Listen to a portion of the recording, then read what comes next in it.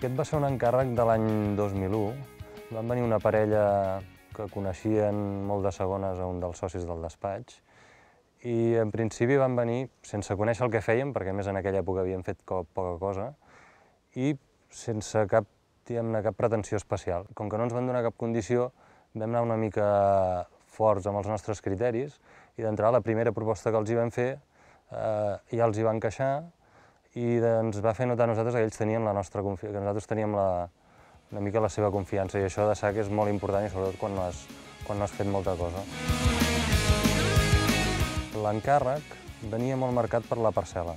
És dir, la, la parcel·la aquesta està al capdamunt de, de l'Ametlla del Vallès, que és una, un poble residencial, ja de fa molt temps és així, i s'ha anat extenent fins a colonitzar tot el seu entorn. I al capdamunt de tot, d'una muntanya que hi ha darrere el, el nucli antic d'aquest poble, hi havia aquesta parcel·la, que era com un rombe, una geometria bastant estranya i poc habitual, i que, a més a més, eh, els, tres, els quatre límits principals que tenia tots eren diferents.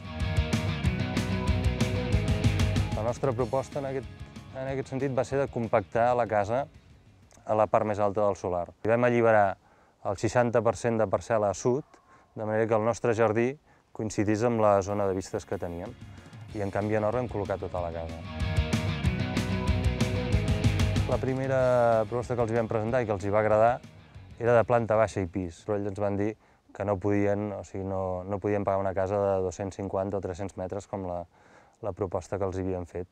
El fet de que ens diguessin, escolta, la casa ha de ser una mica més petita, va fer que, lògicament, passéssim a treballar només en planta baixa i va comportar, jo penso, un canvi important i positiu per la casa. Primera, que la mida que va acabar tenint va ser molt més eh, encertada amb l'entorn que teníem, molt més domèstica, molt, molt més tranquil·la que una casa de planta baixa i pis.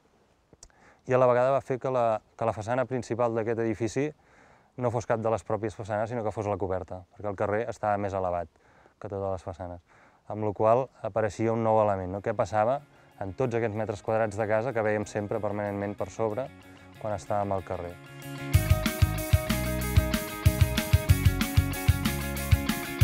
D'entrada això ho vam afrontar a través de generar com unes finestres en aquesta coberta. La més important era la que feia la transició entre l'espai públic, és a dir, el carrer, i l'espai eh, privat, que era la casa. I ho vam fer a través d'un pati, que és l'única obertura que tenim a les tres façanes de darrere. Eh, aquest pati ens servia una mica per filtrar eh, l'usuari un cop entrava a la casa i per no entrar directament teníem aquest àmbit que era, té un punt d'ambigüitat i que estàs a dins però estàs a fora i ens permetia fer aquest trànsit pràcticament atrevessant les parets, trobant amb aquest primer espai i després ja accedint a la resta de la casa que ja vivia d'aquesta idea principal que us he comentat, que és aprofitar al màxim aquest sol, aquest jardí i aquestes vistes a, al, al Vallès. El primer dia pràcticament ja els vam plantejar que la casa fos de formigó, encara més del que és ara, perquè la coberta inicialment també ho era, però de sac tot era, tot era de formigó.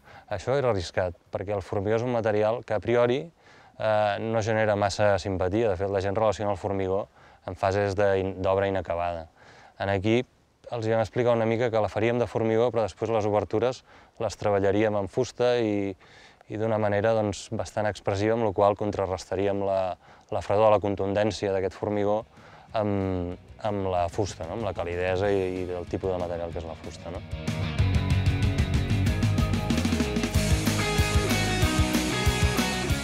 Vam començar a fer la fonamentació ens vam trobar que hi havia una claveguera pública que en lloc d'anar pel carrer ens anava per dins de la parcel·la. Això ens va obligar eh, parcialment a deformar la casa per un costat eh, més cap al jardí. Vam superar aquesta fase de fonamentació, ens vam trobar que el, el contractista eh, no podia construir el mur de formigó tal com l'havíem dissenyat.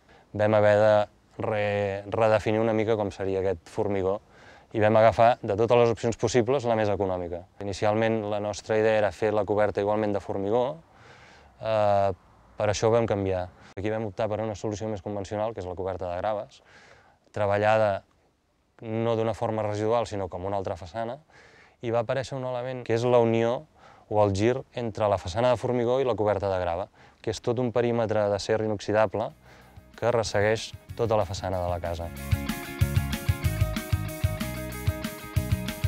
La distribució de la casa al final va acabar sent molt senzilla. Des del carrer, la transició que tenim és baixàvem, accedíem a la parcel·la de la part, per la part més alta, accedíem a través d'aquest pati que ens feia una mica de filtre entre l'exterior i l'interior, d'aquest pati accedíem a un vestíbul, però que en realitat és la distribució de les habitacions, des del qual o bé anàvem a cadascuna de les tres habitacions que té la casa, o bé anàvem al graig, que és la peça que està més a prop del carrer, o bé ja passàvem directament a la sala, i de la sala a la cuina. En qualsevol cas, un cop superat aquest espai transitori que era el pati i havent ja entrat a la casa, anant a qualsevol de les peces principals, ja fos la sala o les habitacions, et trobaves sempre amb aquest contrast de, de gran obertura, pràcticament una situació com inesperada.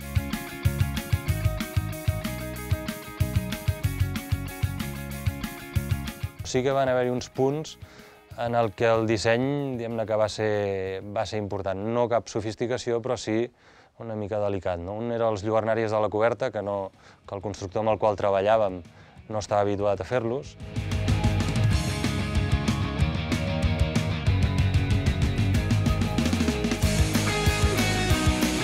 L'altre va ser les persianes de les habitacions, les vam amagar en el forjat, és a dir, estan embegudes. Tu estant des de l'habitació no tens la situació habitual, que és que la persiana està a 30 centímetres del sostre, amb la qual l'interior i l'exterior tenen aquest punt de barrera, sinó que el sostre és continu.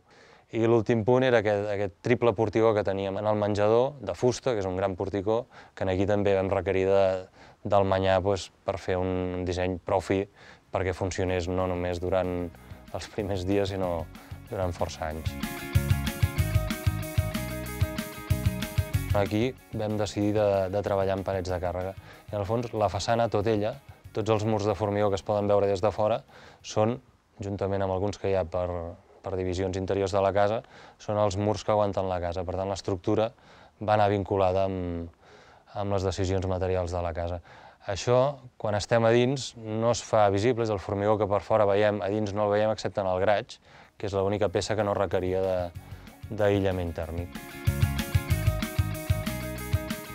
Hi havia un altre punt que ara és molt habitual i en l'any en què estàvem projectant aquest edifici, cap a l'any 2001, 2002, 2003, no era un requeriment ni una, ni una demanda habitual, que és la sostenibilitat. En aquí, per una banda, vam comptar amb la ventilació creuada, és a dir, la façana totalment oberta que tenim a sud, combinada amb el pati i tot el potencial de ventilació que teníem a nord, permeten que qualsevol de les estances de la casa estigui permanentment, quan es vulgui, ventilada. Per altra banda, a sud vam, col·locar un, vam situar un ràfec d'un metre i mig que fa que a l'estiu el sol no entri, cap raig de sol entri a la casa, en canvi a l'hivern, sempre que vulguis, el sol et pot estar entrant i escalfant eh, a través del vidre l'interior. Això és sostenibilitat. No requereix de, de grans invents ni grans històries, però en canvi realment funciona, funciona molt bé. Com relacionar amb la casa, amb aquest jardí, tenint en compte que la casa pràcticament només vivia d'això, és a dir, només mirava aquest jardí. Això ho vam fer eh, des de la sala a través d'una plataforma de fusta, molt contrastada amb la materialitat de tota la casa, d'aquest formigó, amb una plataforma que estava anivellada, és a dir, el mateix nivell que l'interior de la casa. El ràfec en aquí tenia per un costat, eh, la fusteria d'alumini que donàvem al menjador i un metre i mig enllà, just al límit d'aquest voladiu, teníem un, el tancament aquest de, de lames de fusta que generava una galeria que als mesos d'estiu ens, ens permetia tenir un espai atemperat, és a dir, que no estigués a la temperatura altíssima de fora i que no estigués a la temperatura interior. Ens feia una mica d'entremig. Aquestes galeries que són molt típiques en l'arquitectura mediterrània que a més a més a Barcelona doncs, n'està n'està ple a qualsevol lloc, en aquí també ha funcionat molt bé. A dins vam treballar, bàsicament revestint tota l'estructura amb un sistema habitual de, de pladur i potser l'element més eh, poc habitual que vam fer servir és el paviment. És un paviment de formigó que en general es fa servir per als aparcaments o per la indústria, continu, sense juntes, és a dir, unes juntes estratègiques però que pràcticament passen desapercebudes, que permeten això, de que els espais s'enganxin molt bé o s'encadenin molt bé entre ells. Això, més la, la bona situació de les obertures, tant els lluernaris com les finestres, fan que la, a dins la sensació que tens d'espai, jo penso que és, no és de gran espai, però sí que és d'una certa amplitud.